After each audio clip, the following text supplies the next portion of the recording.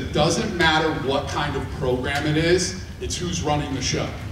I'm going to tell you, with this guy running the show or being there to run the show, things are going to get done the right way. And you guys are about to hear how that gets done. Coach Phil Matusz. Number five on your list, but number one in your hearts, it's Phil Matusz. There's a perception about yourself. There's also a reality. And so today I'm going to help you just kind of bring to reality kind of who you are through the uh, methods and the systems that we have in place at Ohio State.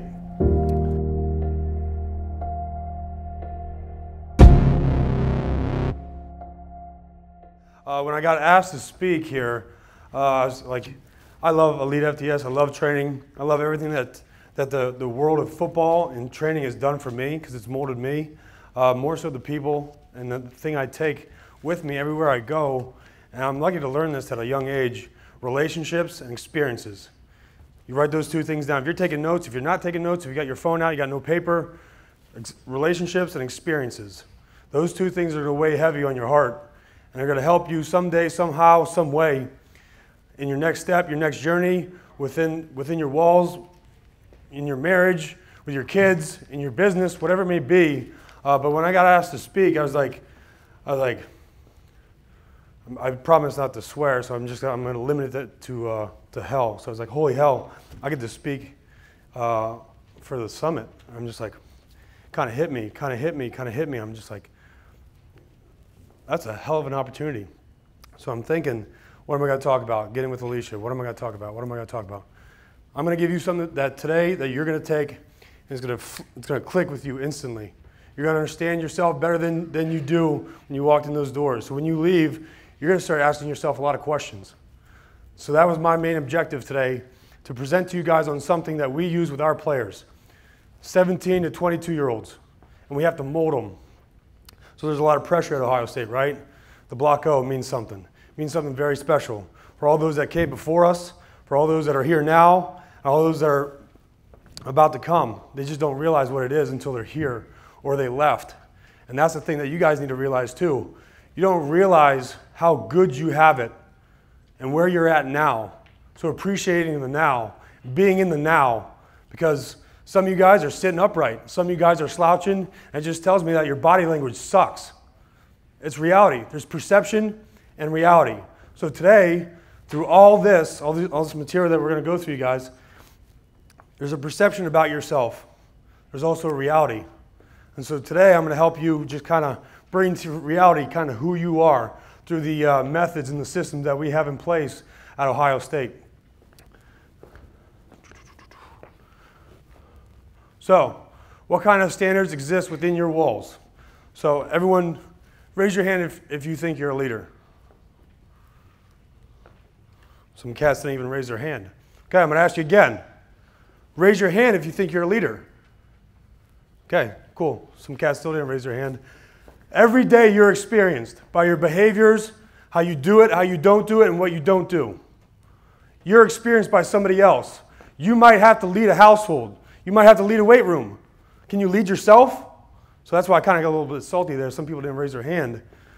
So I'm, my biggest thing, how I present, I'm, I'm very passionate now.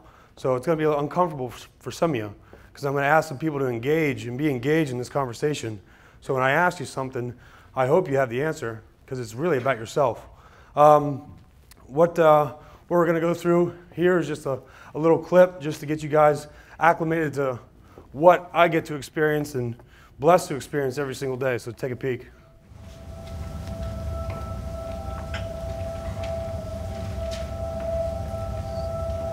I hear a lot of talk about old time great fighters after watching these films, watching their opponents, watching their styles, watching how they fought, watching the footwork and their speed.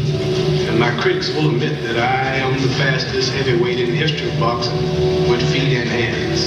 It may come as a shock to you, but I say that I will beat every heavyweight that ever lived before me.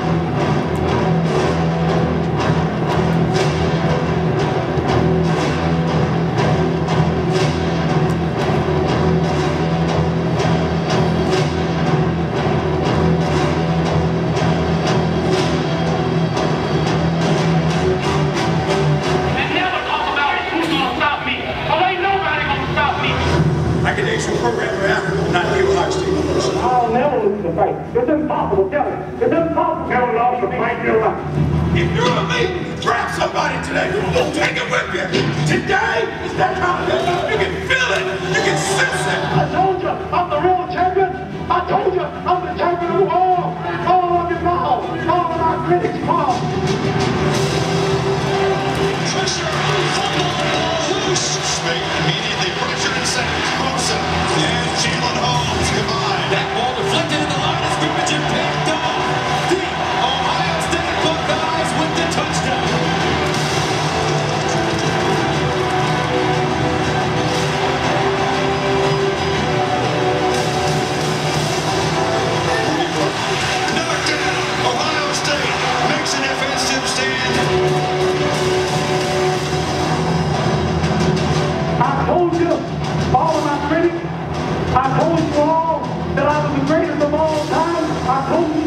I'm still the greatest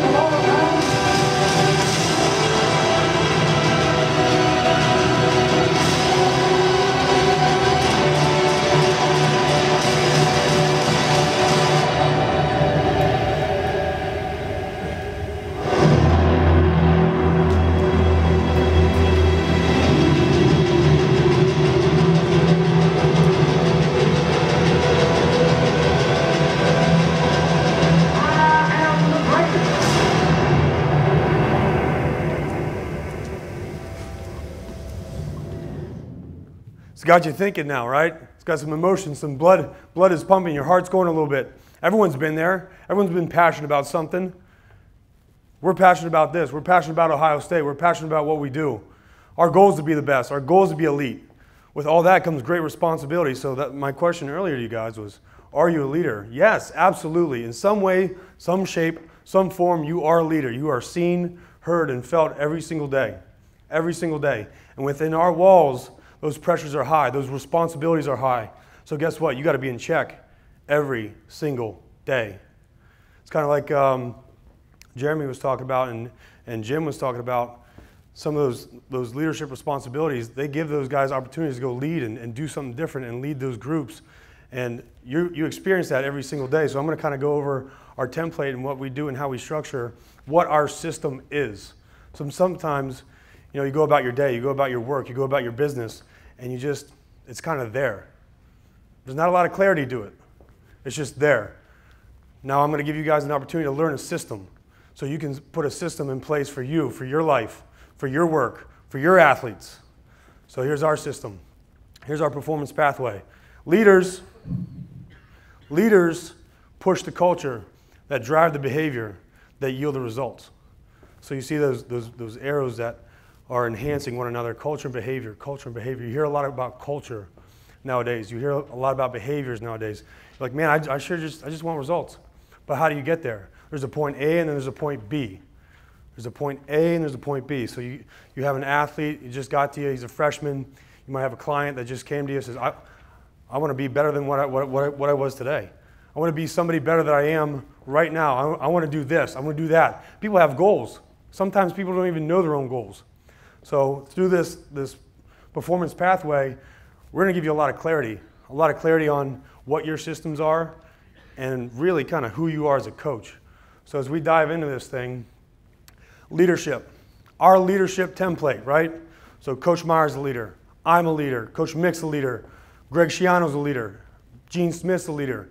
Everybody that works at Ohio State is a leader in some way, shape, or form. You, your behaviors and your responsibilities impact others. So therefore, that makes you a leader. So that's why I kind of got salty when nobody raised, some people didn't raise their hand earlier. You are. And guess what? You got to accept it. Perception, reality. So, leadership, earn trust. So, say day one, you start up an own business. You don't have a lot of trust built, but some way you have to develop that trust with that client. You have to develop that trust with your athlete. Because if they don't trust you, they're probably not going to work hard for you. Next thing, set a clear standard. So what is it? It's got to be clear as day. I want you in the weight room by 5:55, and we're going to train. We're going to start training at six. I'm going to give you five minute leeway. We're going to train right at six. That's pretty clear. Or you can say something along the lines, "We're going to train in the morning." Which one's better? First one, right? Gave clarity, clarity of purpose. So as you direct yourself, you direct your athletes. a lot of things happen, a lot of problems happen because of lack of clarity. Sometimes it happens from an administration standpoint. Sometimes it comes from a player standpoint because they didn't listen. Sometimes coaches just want to coach, coach, coach, coach, coach, but they don't take the time to actually listen to the athlete. They just, they just hear things. So it's a two way street. And then last thing, equip and inspire to meet those standards. So here's our standard at Ohio State. You might be a freshman coming in, and you're down here, you just kind of don't know. Kind of don't know. So our job, you start here, we got to get you to here.